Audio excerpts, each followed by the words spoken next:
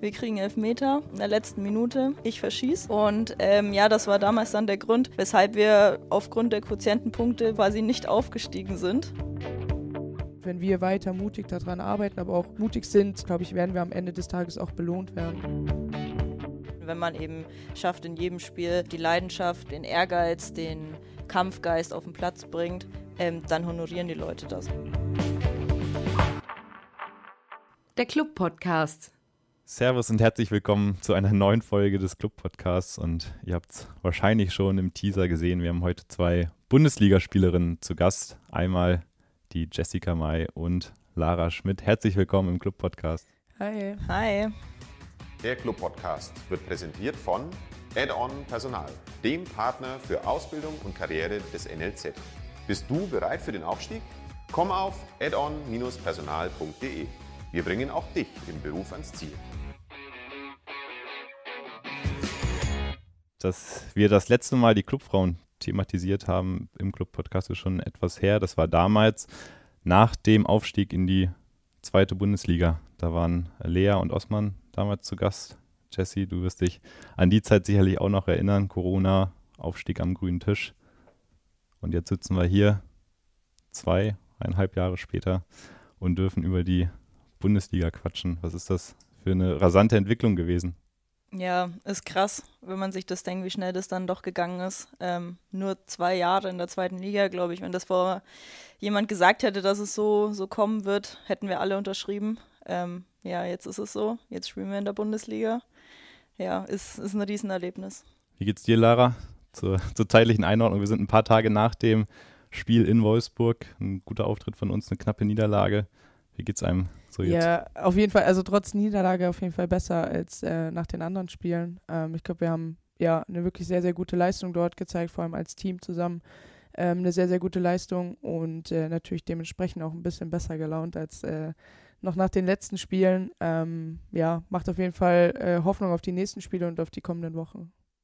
Wie ist das so gegen Alexandra Popp, sie wurde dann ja gegen Ende eingewechselt, äh, zu verteidigen oder Ähm, auch viele andere äh, echt starke Spielerinnen. Ja, es ist, es ist schon Wahnsinn. Ich glaube, manchmal realisiert man das auch erst mit ein bisschen Abstand. Also jetzt in dem Moment, äh, wenn man die auf dem Feld sieht, sind es auch einfach nur Fußballerinnen und ähm, ja, es geht einfach darum, da bestmöglich gegen die mitzuhalten. Ähm, ja, im, im Nachgang, wenn man dann irgendwie manchmal Bilder sieht und sich so denkt, okay, krass, ja, das ist halt ja wirklich äh, Alex Pop gewesen oder Eva Payot oder wie auch immer, ähm, dann ist das schon nochmal ein bisschen beeindruckender als vielleicht in dem Moment, ja.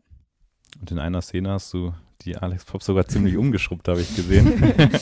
Ähm, wie hast Hat du sie die meine? Sense ausgepackt, die Lara. ja, ähm, mein Papa hat immer gesagt, man muss ab und zu mal so ein Zeichen setzen. Und ähm, ja, als ich gesehen habe, dass sie reinkommt und ich weiß, dass es eine Spielerin ist, die braucht, keine Ahnung, zwei Sekunden, um ein Tor zu machen oder einen Ballkontakt, um ein Tor zu machen, ähm, da muss man vielleicht auch mal ein bisschen härter ähm, gegen sie spielen, um ihr einfach so ein bisschen den Spaß am Spiel zu nehmen und sie gar nicht da reinkommen zu lassen. Und ich glaube, das hat in der Situation ganz gut äh, funktioniert. Ähm, sie hat sich danach auch ein bisschen aufgeregt. Also von daher hat das auch so auf der Ebene geklappt, ja. Jesse, du standest letzte Saison schon auf dem Platz gegen Wolfsburg. Das war damals im Max-Morlock-Stadion DFB-Pokal ein absolutes Saison-Highlight. Wenn du diese beiden Spiele separat betrachtest, das Spiel vor knapp elf Monaten im Stadion äh, hier bei uns im Achteck und jetzt vor ein paar Tagen in Wolfsburg im AOK-Stadion, was äh, geht dir da durch den Kopf, speziell was diese Entwicklung der Mannschaft angeht? Ja, es ist riesig einfach nur. Also damals war es tatsächlich so ein richtiges Highlight-Spiel in der Saison. Es war Pokalspiel, das ist immer was Besonderes. Dann natürlich auch noch gegen Wolfsburg, wo man wusste, ja, wir sind definitiv der Underdog. Wir müssen da alles reinwerfen, um nur ansatzweise irgendwie mithalten zu können. Und jetzt, ja, elf Monate, was ist elf Monate später, ist es halt dann so, dass es dann Liga-Alltag ist, was einfach super kurios ist, weil man ja da irgendwie nie dran gedacht hat, dass es vielleicht mal so weit ähm, da doch irgendwie kommen könnte. Also man hat sich natürlich gewünscht als Kind auch früher, ähm, dass man da mal hinkommt, aber dass es dann wirklich klappt, ist ein, ist ein weiter Weg. Ist für jeden Einzelnen ein weiter Weg, aber auch fürs Team insgesamt. Und da sieht man auch die Entwicklung, die wir da in den letzten Jahren eben gegangen sind. Jetzt auch mit den neuen Spielerinnen, die sich super bei uns einfinden. Ähm, ja, sieht man schon, welche Qualität in dem Kader steckt. Und was besonders bitter war, das habt ihr, glaube ich, während des Spiels auch gar nicht so richtig mitbekommen, aber das 1-0 von Wolfsburg war ja tatsächlich abseits. Die Wolfsburgerin, die da äh, Chrissy Krammer, unserer Torhüterin, ein bisschen auf dem Fuß stand und die, die sich blockiert auf die Szene und die auch daran hindert, dass sie zum Beispiel rauskommen könnte bei der Ecke. Habt ihr das im Spiel gar nicht wahrgenommen, weil so einen richtigen Protest gab es ja von unserer Seite dann auch nicht? Also ich weiß nicht, wie es dir ging, aber ich habe es gar nicht gesehen. Es war halt auch, ähm, ja, sie haben eine relativ, also eine Eckenvariante gespielt, wo viele auf einem Raum stehen. Äh, deswegen war es für uns auch total eng.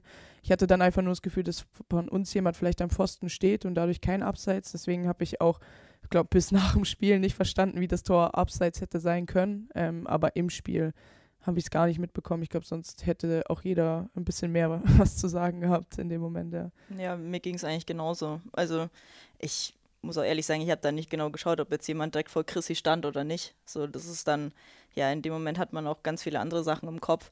Aber ja, klar, wenn wir es gecheckt hätten in dem Moment, dann wären auf jeden Fall Proteste ähm, da gewesen. Da können, können sich alle sicher sein. Aber ich glaube, ähm, ja, in dem Moment hat man das nicht so ganz kapiert.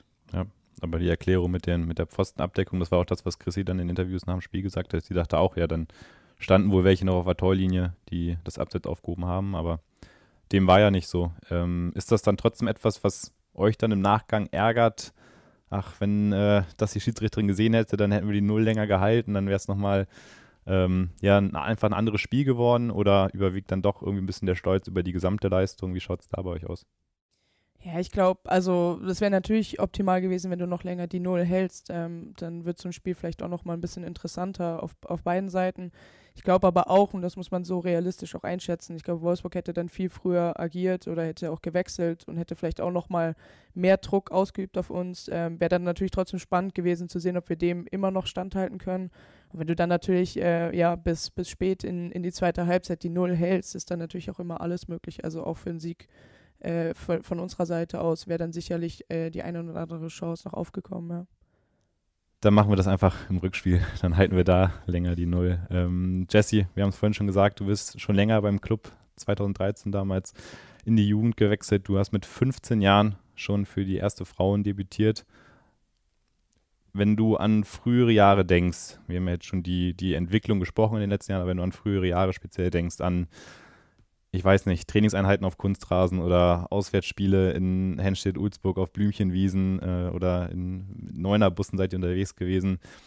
Und jetzt ist es so, du läufst da in das AOK-Stadion ein mit Merle Froms neben dir. Was geht denn da bei dir durch den Kopf, was, was das für ein, einfach für verrückte Jahre waren und dass diese Entwicklung ja wirklich nur ausschließlich bis dann nach oben ging? Ja, es, es ist, ja, ich weiß gar nicht, wie ich das in Worte fassen soll, weil wenn man an damals denkt und wenn ich daran denke, was ich damals gedacht habe, es war halt normal für uns. Es war klar, dass im Frauenfußball in, zu der Zeit einfach nicht mehr möglich ist und dann war das auch okay und man hat einfach aus den Möglichkeiten, die man hatte, das Beste gemacht. Aber dass man jetzt, wenn man das dann Jahre später vergleicht mit dem, was man jetzt hat und wie das Schritt für Schritt immer mehr wurde, immer besser wurde, immer bessere Strukturen, ähm, alles einfach immer weiter vorangetrieben wurde, jetzt gerade speziell hier in Nürnberg, aber auch insgesamt im Frauenfußball allgemein. Ähm, dann ist das eine Riesenentwicklung, die da vorangeht, die auch noch lange nicht am Ende ist, da bin ich mir sicher ähm, ja, wenn man dann im Endeffekt jetzt neben den besten Spielerinnen Deutschlands, wenn nicht sogar der Welt, ähm, einläuft, spielt, dann ist das schon, schon eine Riesensache und da kann man auch unfassbar stolz sein auf sich selbst, auf die Mannschaft, auf den Verein, ähm, dass man es jetzt da, dorthin geschafft hat. Du hast gerade die Verbesserung der Struktur noch angesprochen. Gibt es da konkrete Punkte, die du benennen kannst? Was, wie war es früher? Wie ist es jetzt im Vergleich? Ja, also es geht von ähm, Kabine zu ähm, Bus zu Trainingsmöglichkeiten, die man hat, zu Analyse-Tools, die man verwendet. Also das ist wirklich breit gefächert. Auch die ganzen Mitarbeiter, die jetzt nur für uns quasi zuständig sind, das war früher nicht der Fall. Da haben vielleicht zwei, drei Leute gearbeitet, die für den 1. FC Nürnberg Frauenfußball zuständig waren. Jetzt sind es, keine Ahnung, 12, 14, 16, ich weiß es nicht genau, wie die Zahl ist, aber das ist schon immens, wie das alles gewachsen ist in den letzten Jahren. Eine schöne Geschichte von früher hat Nastasia Lein uns mitgebracht. oh wow, da bin ich gespannt. Und in die hören wir jetzt mal ganz kurz rein. Wir hatten ähm, in der Saison 1920, hatten wir Anfang des Jahres 20, ähm, ein Spiel beim SC Sand gegen die zweite ähm, auf einem wunderschönen Kunstrasen. Und ähm, es war erste Halbzeit, es stand 1 zu 1. Und mitten im Spiel ist der Schuh von der Jessie gerissen, also quasi am Schuh entlang ähm, einfach so durchgerissen, äh, dass man mit dem halt nicht mehr spielen konnte. Sie hatte jetzt aber kein zweites Paar oder so dabei. Die Lou hatte aber ein zweites Paar dabei, aus welchen Gründen noch immer. ähm, und dann hat sich die Jessie diesen linken Schuh, der gerissen ist, quasi einen neuen genommen ähm, und hatte dann einen alten quasi an und einen neuen. Das war sogar das gleiche Modell. Ja, das war ganz witzig. Und wirklich in der nächsten Aktion hatten wir einen Eckball und ich glaube, es war der, die erste Aktion von der Jessie nach diesem Schuhwechsel, ähm, war diesen Eckball reinzuschlagen, der dann perfekt auf dem Kopf äh, von einer Spielerin von uns gelandet ist, sodass wir mit 2 zu 1 in Führung gegangen sind. Ähm, ja, ich glaube, das war ganz witzig irgendwie.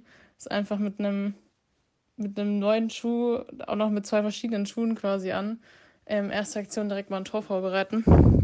Ähm, ja, am Ende haben wir das Spiel 4-2 gewonnen. Das ist auch tatsächlich eines meiner Lieblingsspiele ähm, aus der Saison.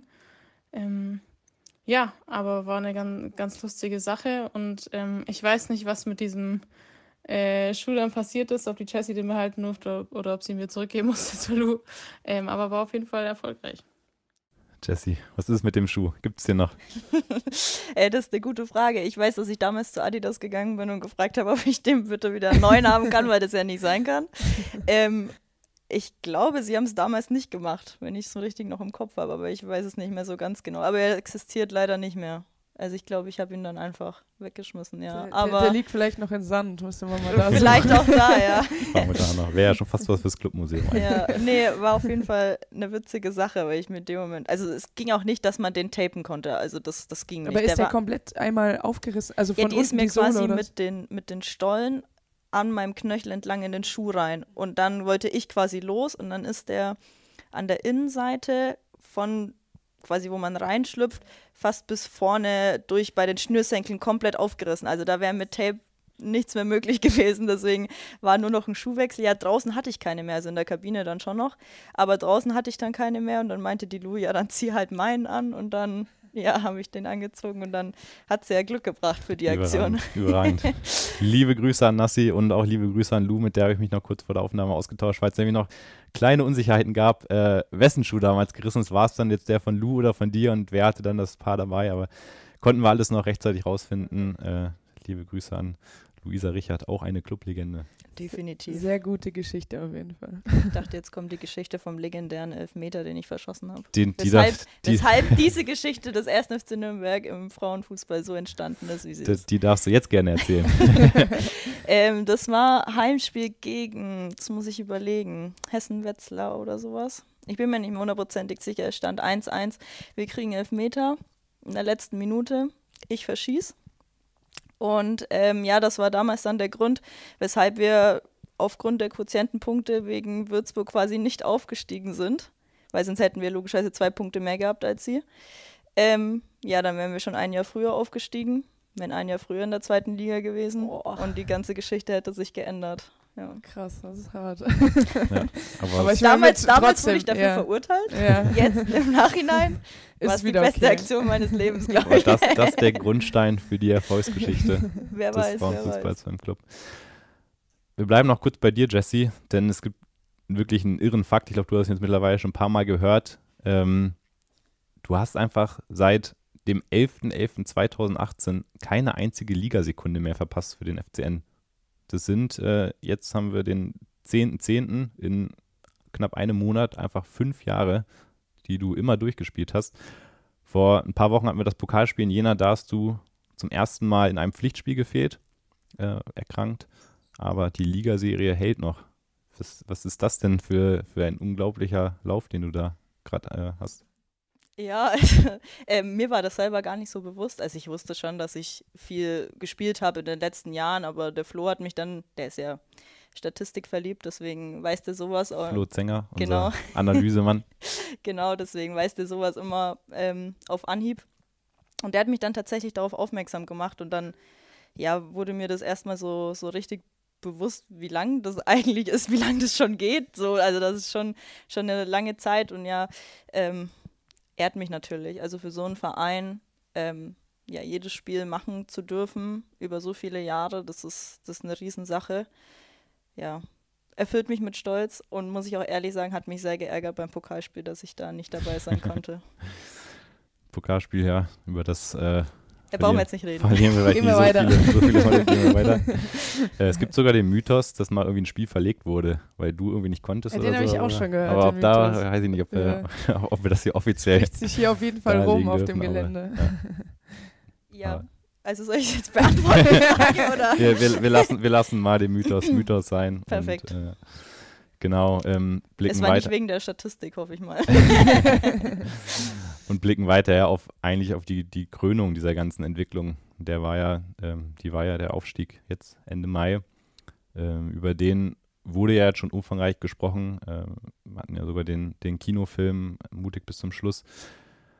Und ich glaube, eine Frage ähm, kannst du oder können, können viele aus der Mannschaft, glaube ich, mittlerweile gar nicht mehr hören, aber ich stelle sie trotzdem nochmal, weil ja jetzt mittlerweile auch schon ein paar Bundesligaspiele vergangen sind. Aber kannst du schon realisieren, dass du Bundesligaspielerin bist? Ich glaube mittlerweile schon. Also man ist jetzt im Ligabetrieb, man weiß jede Woche, welche Aufgaben auf einen warten. Man ist jetzt auch, ja, man hat seine ersten Eindrücke gesammelt in dieser Liga. Ich glaube, das hilft einem auch enorm weiter. Ähm, und ich glaube, man realisiert das jetzt schon. Also auch mit der Vorbereitung, man merkt, wie professionell es jetzt auch im Training ist, wie oft man trainiert und dass man ja auch außerhalb, sage ich mal, weniger Zeit hat als letztes Jahr eben der Fall ist, weil man eben so viel trainiert, so viele Analysen hat und so weiter.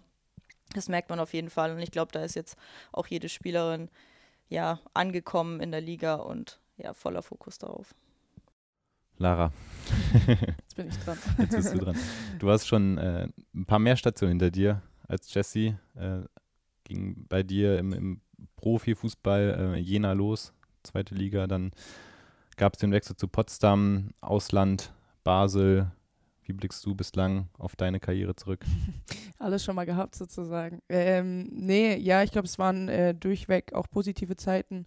Ähm, zwar auch nicht immer einfach und äh, teilweise auch ja, Wechsel durch äh, eben Verlex Verletzungen oder einfach Spielpraxis. Also ähm, gerade der Wechsel jetzt nach Basel war so ein bisschen ähm, ja, raus aus dem, aus dem Bundesliga-Alltag und äh, mal was Neues sehen, ein bisschen über den Tellerrand hinausschauen. Ähm, aber ja, alles sehr, sehr positive Stationen gewesen, wo man sehr viel lernen konnte, sehr viel mitgenommen hat, aber auch ja, wirklich äh, super Persönlichkeiten getroffen hat, ähm, die, die heute auch noch im, im Leben sind und ja, einfach äh, eine super tolle Zeit bis jetzt äh, ja, im Profifußball erleben dürfen. Du hast auch sehr jung angefangen dann bei der ersten Mannschaft äh, in Jena. Ähm, bist zwar auch erst 23, aber hast schon viele Jahre auf, auf dem Niveau gespielt. Hast du auch da eine gewisse Entwicklung wahrgenommen? Das jetzt ja beschrieben, wie es- beim FCN lief. Ähm, von Station zu Station unterscheidet sich das natürlich irgendwie, aber hast du trotzdem in den Jahren da was mitbekommen? Ja, absolut. Also ich kann mich noch daran erinnern, als ich in, in Jena gespielt habe und dort ähm, das erste Mal auch Bundesliga gespielt habe, da waren die Bedingungen noch ganz andere. Da waren auch noch ganz andere Vereine in der Liga und man hat dann ähm, Jahr von Jahr zu Jahr gemerkt, dass sich das immer weiter professionalisiert, ähm, dass da immer mehr Möglichkeiten für die Vereine da sind, aber auch für die gesamte Liga. Ähm, also weiß ich auch von den Spielstätten her, dass man, dass man jetzt in Stadien spielt, also egal ob das jetzt hier Max-Morlock-Stadion ist oder ab und zu auch andere Vereine in den großen Stadien spielen, da sieht man, dass es einfach viel mehr wertgeschätzt wird, dass es viel mehr auch wahrgenommen wird und ähm, ja, auch rein von den Zuschauerzahlen. Also ich weiß nicht, wir haben damals in Jena weiß, ich, 250 Zuschauer gehabt oder so. Ähm, das ist ja, gibt es glaube ich jetzt gar nicht mehr in der Liga. Also da fängt es ja erst ähm, ab 500 oder 1000 an und jetzt hast du auch so Highlight-Spiele, wo wirklich ähm, ja, 15.000, 20.000 im Stadion sind. Also man sieht einfach, dass es auch von, von der Gesellschaft immer mehr wahrgenommen wird und ähm, dass äh, die Entwicklung so vorangeschritten ist, ähm, hat man irgendwie von Jahr von, zu Jahr mitbekommen und dann immer wieder die Fortschritte, die auch vom Verband oder von Vereinsseite gemacht wurden, ja, einfach mitbekommen. Was glaubst du, woran das liegt, dass diese Entwicklung auch da nach oben geht, speziell vielleicht auch mit Blick auf die Zuschauerzahlen? Ja, ich glaube, das ist so ein Mix aus allem. Also das kann man gar nicht so festmachen an ein, zwei Punkten. Also es ist einmal die generelle Professionalisierung der Vereine und ähm, der Verbände, ähm, aber dann natürlich auch durch so Turniere, ähm, die einfach, also wie die jetzt die EM oder WM, die dann einfach im Fernsehen zu sehen sind ähm, oder das ausgestrahlt wird, wo man dann diesen Hype mit in das Land nimmt. Und dadurch auch einfach viel mehr junge Leute dazu begeistert, ähm, ins Stadion zu kommen. Und ich glaube generell in unserer Generation ist es ist die Akzeptanz viel viel höher. Ähm, also Freunde von mir, ähm, die schauen ganz oft Frauenfußball an und kommen ins Stadion und sagen einfach, ja, es ist eine coole Atmosphäre ähm, und und bringt Spaß und ähm, ja, dadurch kommt es dann halt einfach ähm, mit zu zusammen, also zusammen auch mit Marketingaktionen, mit der Reichweite, die man jetzt nutzt oder die Ausstrahlung auf TV-Sendern und allem, ja. Ja. Und in diesem Sommer hast du dann den Entschluss gefasst, nach Nürnberg zu kommen, worüber wir uns natürlich sehr freuen. Ich will jetzt nicht sowas hören, wie Gespräche waren mit den Verantwortlichen so gut und was sonst äh, Fußballer gerne mal raushauen, wenn sie gefragt werden, warum hast du dich denn für den Club entschieden? Aber erzähl doch mal, warum hast du dich ähm, für den Club entschieden? Ja, die Gespräche mit die Gespräche. Verantwortlichen. Nein, ich glaube, also die Gespräche und ich glaube, deswegen sagt das jeder, ähm, spielen da schon eine sehr, sehr große Rolle, weil man darüber halt einfach den ersten Eindruck von dem Verein und äh, von dem Team oder von dem Team auch rund um das Team mitbekommt und dadurch halt ja am besten sieht, was, was der Verein mitbringt oder ähm, was das für eine Station werden kann. Ähm, das, dementsprechend waren schon die Gespräche auch gut. Ähm, ich habe aber auch von, von verschiedenen, also ich hatte auch mit anderen äh, Spielerinnen Kontakt, ähm, die einfach hier die Entwicklung von Nürnberg ein bisschen mehr mitbekommen haben, weil sie eben auch zweite Liga gespielt haben oder einfach im deutschen Fußball unterwegs waren, die auch alle gesagt haben, ja, hier wird seit Jahren ein guter, guter Job gemacht, hier wird solide gearbeitet, ähm, da ist noch sehr viel Potenzial, auch in den nächsten Jahren, was man ausschöpfen kann und das hat äh, mir einfach gezeigt, okay, das ist vielleicht genau das, ähm, auf was ich jetzt brauche. Und ich hatte einfach auch Lust, was ähm, ja mitzuentwickeln. Also nicht schon in, in ein fertiges äh, Projekt reinzugehen, wo alles läuft und wo alles funktioniert, sondern mir war ganz bewusst, okay, hier ist Potenzial da und da kannst du auch mit mithelfen, das zu entwickeln oder das auszuschöpfen, ja. Was für einen Club hast du denn hier vorgefunden? Äh, sehr, sehr liebevoll, muss ich sagen. Ähm, ich hatte ähm, ich glaube, das erste war dieses DTM-Rennen, ähm, wo ich zum ersten Mal gemerkt habe, also es war ja ein ganz anderer Sport, ähm, den wir da äh, angeschaut haben. Aber jeder wusste, dass wir vom FCN sind, jeder wusste, was der FCN macht. Und äh, da habe ich auch zum ersten Mal so das Team kennengelernt und habe halt sofort gemerkt, ja, alle sind total offen, haben Bock da drauf und auch immer noch diese Euphorie vom Aufstieg. Also das hat man in den ersten Wochen extrem hier gespürt im ganzen Verein. Ähm, ja, und dann auch äh, die ersten Kontakte zum Beispiel mit dir oder auch mit anderen ähm, aus dem Verein waren sehr, sehr positiv. Und äh, spätestens bei dem Fanfest ist mir dann wirklich bewusst geworden, was das für, was der Club hier für einen riesen Stellenwert in der Gesellschaft und in der Stadt hat. Ähm, ja, genau über diese Wucht, die auch die Fans entwickeln können, über die sprechen wir ähm, später nochmal, wenn es dann so ein bisschen auch vielleicht an, um das Thema Erwartungen an euch geht. Ähm, vorher aber nochmal, ja, man kann eigentlich schon sagen, dass, dass du dich wirklich sehr gut integriert hast ins Team, weil das ja auch ähm, dadurch belegt wird, dass du aktuell mit der Kapitänsbinde aufläufst. Wie kam es dazu? Also wir wissen natürlich, Lea als etatmäßige Kapitänin leider verletzt, aber wie kam da dann die, die Wahl auf dich?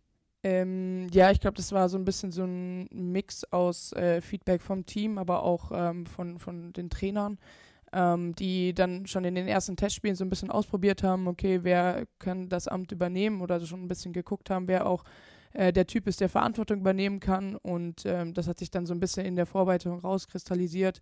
Aber man muss auch sagen, dass bei uns, also klar, mit Lea ähm, eh eine ist, die, die das gerne macht, aber wir auch hinten dran mit Jessie, mit äh, Nassi ähm, einfach Leute haben, ähm, die die Verantwortung übernehmen. Und ich glaube, in unserem Team ist es sogar egal, wer, wer die Kapitänsbinde trägt, weil wir einfach so ein paar Stützen im Team haben, ähm, die da Verantwortung übernehmen und äh, vorangehen. Und äh, genau, so hat sich das dann alles entwickelt, ja.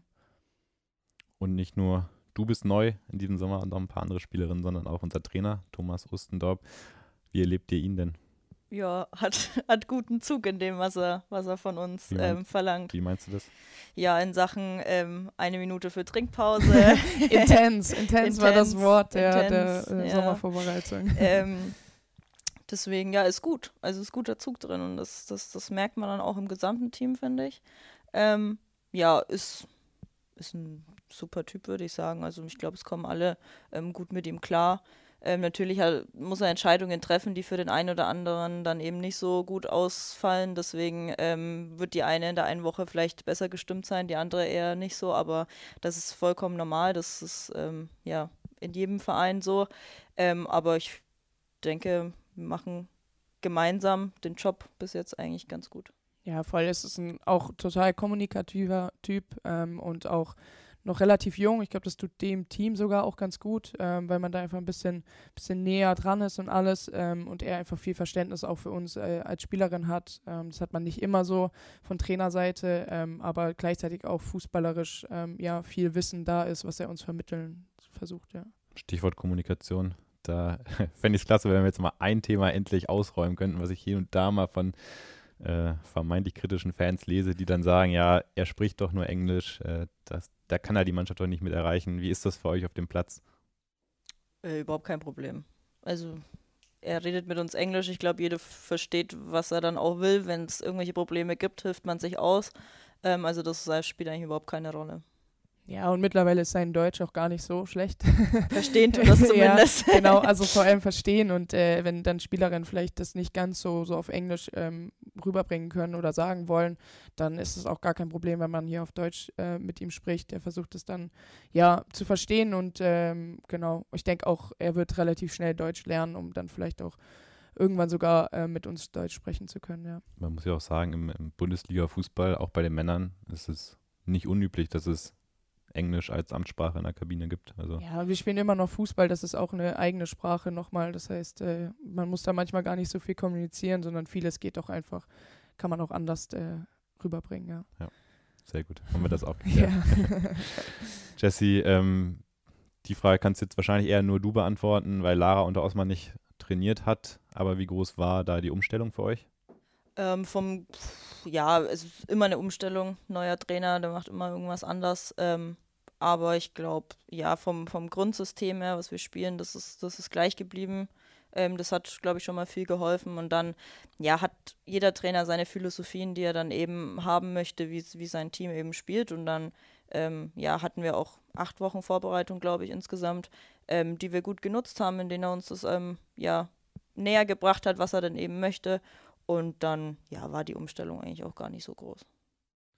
Jetzt haben wir vorhin gesagt, über das Pokalspiel in Jena wollen wir nicht so viel reden, aber so ein ganz bisschen muss ich doch den Finger in die, in die Wunde legen. Ähm, ja, der Saisonstart, das kann man, glaube ich, so ehrlich sagen. Äh, wir wussten natürlich, dass es sehr schwer wird, aber der lief natürlich speziell jetzt in den ersten drei Pflichtspielen nicht so, wie wir uns das vielleicht gewünscht hätten. Wie ordnet ihr das ein? Ähm, ja, ich glaube, gewünscht haben wir uns das alles äh, alle ein bisschen anders. Ähm, jetzt gerade mit dem Pokalspiel am Anfang, was vielleicht auch ähm, relativ ja, blöder Zeitpunkt war, weil sie waren einfach schon in der Saison drin, hatten schon ähm, Meisterschaftsspiele gehabt, wir eben noch nicht. Also es war auch nochmal eine ganz andere Drucksituation für uns als Team. Ähm, scheiden dann da aus. Ähm, war natürlich ein bisschen gedrückt, auch die Stimmung, aber trotzdem viel Euphorie noch da für den, für den Saisonstart in der Bundesliga. Ähm, ja, und ich glaube, wir haben da vor allem in der ersten Halbzeit gezeigt, dass wir, dass wir das Niveau auch haben und dass wir es auch können, sind aber vielleicht einfach auch noch nicht so konstant in der Leistung. Ähm, das liegt an, an verschiedenen Sachen. Man muss halt trotzdem sagen, dass wir ein sehr, sehr junges Team haben, was wenig Erfahrung hat, auch mit, mit so Rückschlägen umzugehen. Ähm, und, und das sind wir gerade auch dabei zu lernen. Und ich glaube, jetzt hat man auch ja, Fortschritte gesehen in den Spielen, ähm, auch wenn es vielleicht jetzt aktuell vom Ergebnis her ähm, immer noch nicht so aussieht. Aber ich glaube, ja, für alle, die von Fußball wirklich Ahnung haben und sich die Spiele genau anschauen, sieht man, dass die Mannschaft immer, ja, immer sich besser in, in der Liga ähm, einfindet und äh, da auch der, die Leistung langsam steigern wird. Ja. Wie gut tun da so Leistungen wie gegen Wolfsburg, Jesse?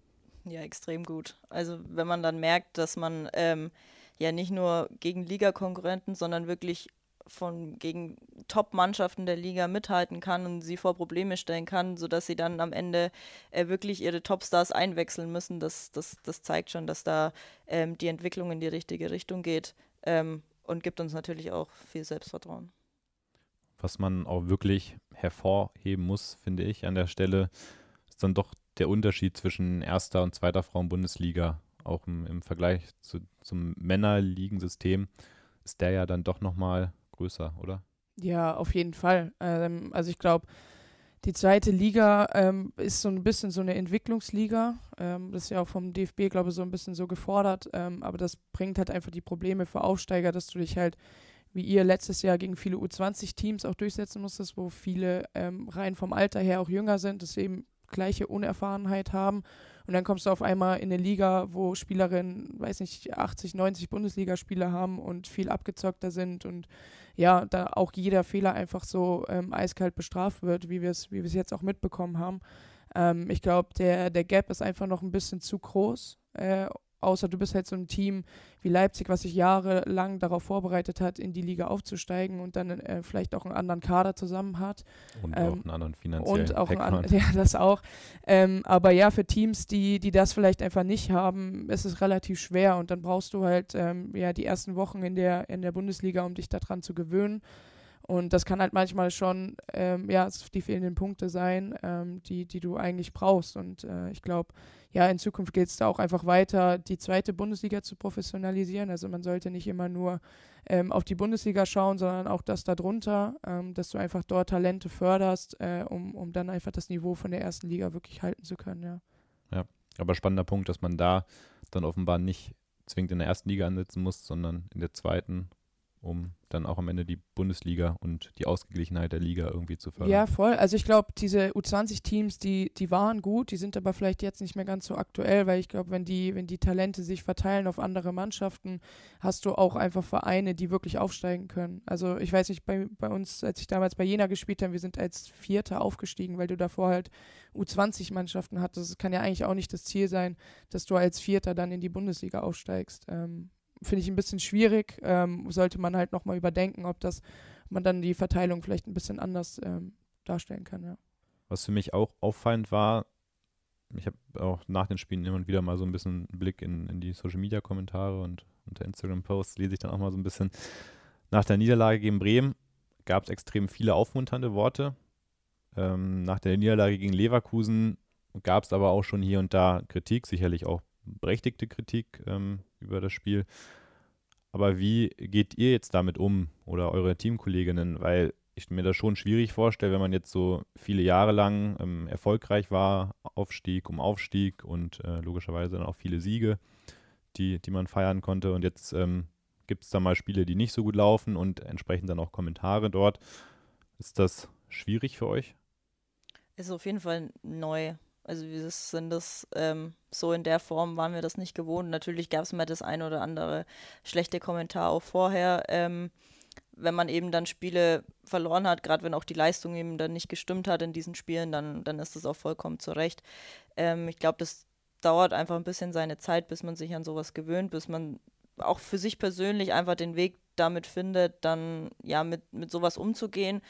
Ähm, ja, man muss auch sagen, dass es wahrscheinlich gegen Leverkusen auch wirklich so gerechtfertigt war, weil es einfach nicht unsere beste Leistung war, die wir da abgerufen haben. Das muss man einfach so knallhart sagen.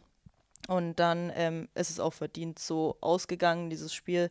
Und dann sind auch solche Kommentare durchaus, ja, ich sag mal, verständlich dass man da ähm, als, als Zuschauer dann eben seinen Frust dann auch irgendwie ähm, ja, rauslassen möchte, gerade wenn man dann sich mit dem Verein so verbunden fühlt. Ähm, ja, aber da findet, glaube ich, jede Spielerin dann mit der Zeit ähm, ihren Weg damit und kann damit, ähm, ja, ich sag mal, abschließen und das dann zu dem Spiel zuordnen. Genau. Ich glaube, es ist auch immer wichtig, auch, auch für die Fans vielleicht, ähm, sich immer vor Augen zu halten, mit was für einer krassen Außenseiterrolle wir einfach in die Saison gehen. Nichtsdestotrotz wie schon gesagt, du hast ja gerade selber schon das Leverkusen-Spiel angesprochen, ähm, da die Leistung sicherlich auch nicht 100% gestimmt. Kann man das Ganze vielleicht trotzdem aber auch als Ansporn sehen, weil du siehst auch nach solchen Spielen, wie viele Leute ähm, das dann ja offenbar verfolgen und umgekehrt haben wir es dann auch erlebt nach dem Wolfsburg-Spiel. Es war schon echt irre, wie viele Leute dann auch entsprechend positive Kommentare geschrieben haben. Ist das vielleicht auch nochmal so ein, so ein Fünkchen, der ein paar Prozent da rauskitzeln kann auf dem Platz? Ja, das motiviert natürlich. Also egal jetzt in welche Richtung, ähm, das, das motiviert total, seine Leistung zu, zu steigern oder beizubehalten. Ähm, ich glaube, wir haben jetzt auch mal gesehen, was, was in dem Team steckt und was wir eigentlich können. Und wenn du dann auch noch von außen hörst, okay, es wird auch noch so wertgeschätzt und Leute schauen sich das, schauen sich das an. Ähm, auch äh, nicht, nur, nicht nur bei Heimspielen, sondern sind teilweise auch, auch auswärts vor Ort oder schauen es dann vor dem Fernsehen. Es gibt natürlich extra Motivation, ähm, da zu 100% Vollgas zu geben. Aber ich glaube, äh, jede, die auf dem Feld steht, würde so oder so immer wieder 100% geben für den Verein. Ja, ja muss man auch sagen, dass ähm, ja, es in Nürnberg, ich sag mal in Anführungszeichen, relativ einfach ist, die Fans auf seine Seite zu ziehen, wenn man eben schafft, in jedem Spiel ähm, die Leidenschaft, die, den, den Ehrgeiz, den Kampfgeist auf den Platz bringt, ähm, dann honorieren die Leute das. Wenn man schafft, sich einen Wert zu schaffen auf dem Feld, dass die Menschen da draußen sich damit identifizieren können, dann werden sie wahrscheinlich immer auf unserer Seite sein, egal wie das Spiel dann am Ende ausgeht. Gerade in der ähm, Rolle, wie du schon gesagt hast, in der wir in dieser Saison stecken, äh, muss allen bewusst sein, dass es eben Spiele gibt, in denen wir ganz klare Außenseiter sind und die Chance, dass wir da Punkte bzw. einen Punkt holen, eben sehr gering ist. Und dann muss man eben schauen, dass man da in kämpferischer Sicht, in dem, ähm, wie man sich präsentiert und wie man dann eben auch den Verein repräsentiert, dass man sich da eben klar bewusst sein muss, dass es nur über Kampfgeist und Leidenschaft und was weiß ich, was es noch alles für Attribute gibt, die man da ähm, reinwerfen muss, dass es nur darüber eben geht. Und das ähm, haben wir gegen Wolfsburg geschafft und dann sehen eben auch dementsprechend die Resonanz so, wie sie jetzt ist. Und wenn man es mal auf der emotionalen Schiene betrachtet, äh, klar, Fußball, Ergebnissport, aber das kann an manchen Tagen ja auch äh, sogar geiler sein, als drei Punkte zu holen. Wenn du jetzt so ein Spiel wie in Wolfsburg hast und dann, dann siehst, dass du was einfach bei den Zuschauern auslöst, dann als Spielerin, oder das muss ja auch einfach ein fantastisches Gefühl sein. Ja, auf jeden Fall. Also wenn man jetzt sagt, wir haben dieses Spiel verloren, wir sind mit null Punkten da raus, aber ich bin mir sicher, dass dieses Spiel viele Leute dazu bringt, vielleicht die nächsten Wochen bei uns ins Stadion zu kommen, weil sie genau die gleiche Leistung wiedersehen wollen, ähm, dann ist es einfach etwas, was einen trotzdem stolz macht, obwohl man da jetzt mit nichts rausgegangen ist aus diesem Spiel. Ich habe gerade die Außenseiterrolle, die wir in der Saison innehaben, schon angesprochen. Ja, auch noch ein spannender Fakt. Das letzte Mal, dass es beide Aufsteigerinnen geschafft haben, in der Liga zu bleiben, war 2006, 2007 in der Saison. Wenn man jetzt mal davon ausgeht, dass RB Leipzig, wir haben den, auch den finanziellen Background vorhin angesprochen, in der Liga bleibt, dann wäre es ja eigentlich schon fast eine mittelgroße Sensation, wenn wir das auch schaffen. Was, ich würde sagen, es wird mal wieder Zeit. ja, ich würde gerade sagen. das ja, wäre nämlich jetzt so mein, meine Anschlussfrage. Was glaubt ihr denn, warum wir es am Ende schaffen, drin zu bleiben, Lara? Ja, ich glaube, weil wir einfach ein, ein, Verein oder auch eine Mannschaft sind, die, die über die Einstellung kommt, die über diesen Kampfgeist kommt. Und ich glaube, äh, man hat es jetzt gegen Wolfsburg auch gesehen, damit haben die, glaube ich, auch nicht gerechnet, dass wir als Aufsteiger so dort auftreten werden. Wir sind, ja, wir sind einfach, also dieses mutig bis zum Schluss, das habe ich am Anfang so ein bisschen eingetrichtert bekommen, aber mittlerweile fühle ich das auch genauso, wie das hier gesagt wird. Also es ist wirklich so, dass der Mut in den meisten Fällen be belohnt wird. Und wenn wir weiter mutig daran arbeiten, aber auch mutig sind, äh, ja, da, da voranzugehen und das durchzuziehen, die Philosophie, die wir haben, ähm, glaube ich, werden wir am Ende des Tages auch belohnt werden, ja. Und wir werden uns ja mal weiterentwickeln. Also gerade in dem, in dem jungen Alter, also wenn du jetzt da einen Kader hättest von Spielerinnen, die ähm, durchweg 28 bis 30 Jahre alt sind, dann wird da von der Entwicklung her von Spiel zu Spiel nicht mehr so viel gehen. Aber das ist ja bei uns definitiv nicht der Fall. Wir sind der jüngste Kader der Liga und wir lernen mit jedem Spiel weiter. Und ähm, natürlich wird es mal Spiele geben, in denen es nicht so funktioniert, aufgrund auch einfach der Erfahrung oder dem, dem Alter geschuldet. Aber dann wird es auch wieder Spiele geben, wo wir über unsere Grenzen hinausgehen und dann ähm, vielleicht Sensationen schaffen. So und da. Ich glaube, gerade vielleicht dieses Wolfsburg-Spiel war genau so eins. Also ich glaube, äh, wenige haben schon gegen die gespielt, aber wir waren total unbeeindruckt von dem Ganzen. So ein bisschen diese junge Naivität eigentlich auch, die, die uns da einfach geholfen hat, über uns hinauszuwachsen und, und einfach die Leistung abzurufen, ja. Die Erwartungshaltung wird jetzt natürlich trotzdem sein, dass wir äh, in dieser Saison, so realistisch muss man sein, natürlich mehr Spiele verlieren werden als gewinnen, wir werden mehr Gegentore kassieren als Tore schießen. Ähm, wie schwierig ist das für eine Mannschaft, damit umzugehen, weil das ja doch schon dann gewisse Negativerlebnisse sind, die dann aufs Team einprasseln? Oder mit einer gesunden Erwartungshaltung ähm, fängt man das vielleicht auch ganz gut auf? Wie schaut da das Innenleben in der Mannschaft bei euch aus? Ich glaube, uns ist allen bewusst, welche Rolle wir haben. Ähm, und wenn man jetzt die letzten Jahre vergleicht, auch die Aufsteiger oder die Mannschaften, die immer um den Abstieg spielen, ähm, wie viele Punkte sie am Ende haben. Ich glaube, das war jedem bewusst, wie dann die Saison wahrscheinlich aussehen wird. Und in dem Sinne ist man dann auch mit einer gewissen Erwartung an sich selber, aber auch ans Team dann eben reingegangen. Und ja, ähm, ich glaube, wenn es eben so, so Spiele gibt wie gegen Wolfsburg, wo du jetzt keine Punkte mitnimmst, aber trotzdem eine, eine sehr, sehr gute Leistung abrufst, dann ist auch diese Niederlage danach nicht so schmerzhaft wie jetzt beispielsweise gegen Leverkusen oder Bremen.